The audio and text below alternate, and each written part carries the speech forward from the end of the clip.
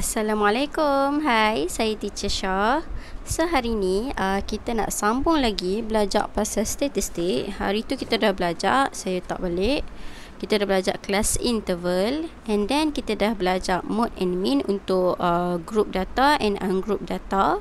Lepas tu kita dah belajar histogram. Kita dah tahu nak guna maklumat apa untuk buat histogram. So hari ni kita nak belajar eh, No. Frekuensi poligon pun kita dah belajar Iaitu poligon kekerapan. And then sekarang kita nak masuk subtopik kelima Iaitu cumulative frequency. Cumulative frequency ni Dalam BM dia kekerapan longgokan Apa benda cumulative frequency ni? Dan dia akan berkait dengan apa? Okay? So untuk cumulative frequency ni Kita ada lagi satu uh, Lagi satu uh, graf untuk dilukis iaitu kita panggil dia sebagai ogif.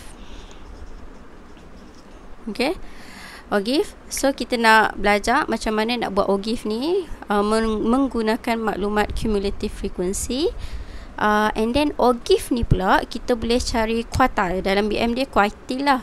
Uh, dia akan ada kuartal pertama, kuartal kedua, second kuartal, first kuartal, third kuartal kuartal pertama, kuartal kedua, kuartal ketiga. Kuartal kedua ni bersamaan dengan median lah. Nanti kita tengok. And then uh, kita boleh tahu interquartal range. Uh, julat antara kuartal iaitu kita just ambil Q3 tolak Q1. Nantilah ni saya tunjuk, okay? So sekarang untuk uh, first kali bagi subtopik ni kita kena tahu dulu apa benda cumulative frequency iaitu kekerapan longgokan ni. Okay, berdasarkan yang ni cumulative frequency dia kata uh, construct a cumulative frequency table and draw an ogive lah based on this data. Okay.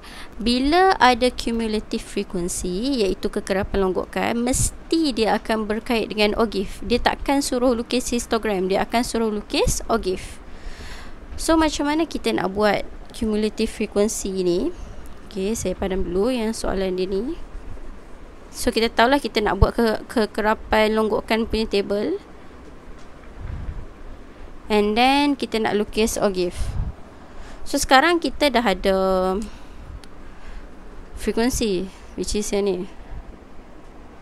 Frekuensi kekerapan long uh, kekerapan longgokan iaitu cumulative frequency adalah hasil tambah bagi frekuensi. Okey, jadi kat sini sini 4 kita start dengan 4. Ni saya tulis atas ni cumulative frequency ya ataupun lainnya cara tulis dia sebenarnya F besar. Hmm. So, uh, kita tengok kat sini ni 4 and then 4 tambah 8. Dia kita kumpulkan untuk yang kedua ni 4 tambah 8. So kat sini 12. 12 tambah 14. So dapat 26. 26 tambah lagi 14. 2 3 3 40. 40 tambah lagi 6 46. 46 tambah lagi 2 48. Jadi total untuk cumulative frequency ni adalah 48 jumlah data dia. Ni tambah ni dapat 40. 40 tambah 6 dapat 46. 46 tambah 2 tambah 48. Itulah yang kita panggil sebagai cumulative frequency. Kekerapan longgokkan. Kita longgok, longgok, longgok, longgok, longgok, longgok. Okay. So sekarang kita dah ada data.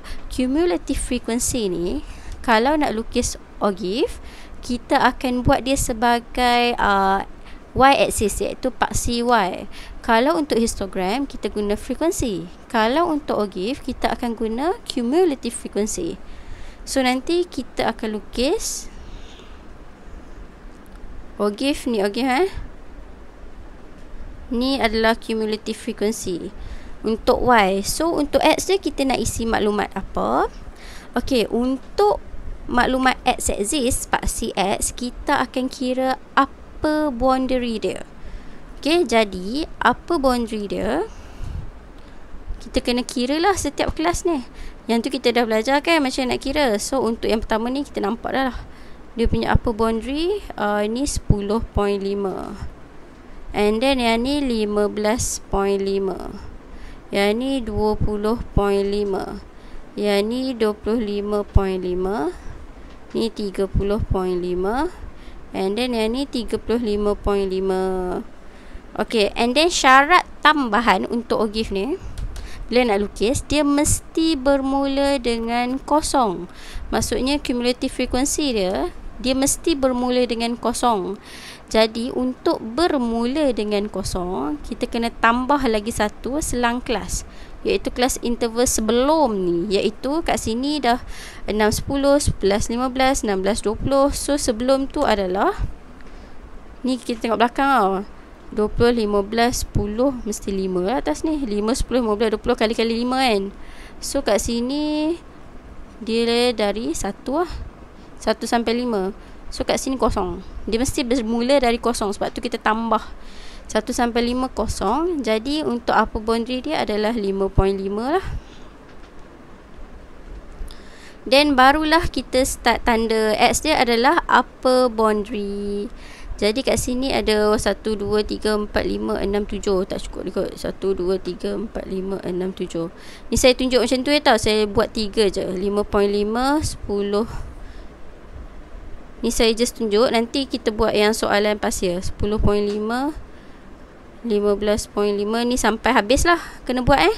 So contoh ni 5.5 adalah kosong 10.5 adalah uh, gunakan kosong 10.5 adalah 4 2 4 6 8 10 12 Okay So 5.5 adalah kosong 10.5 4 15.5 12 So kena tanda sampai habis lah. Ni saya tunjuk sikit je. Jadi dia akan dapat uh, Gambar ogif ni Dia macam makin meningkat. Macam tu. Okay So dia freehand je Untuk lukis ni. Buat slow-slow Kena semua titik lah Untuk ogif. Jadi untuk ogif uh, Dari ogif ni Kita boleh dapat quartile. Okay, so nanti next class kita akan belajar pasal quartile lah. Okay. Kena hmm, okay. Okay, sorry. Okay, so sampai situ saja. Okay, uh, insyaAllah jumpa lagi. Assalamualaikum.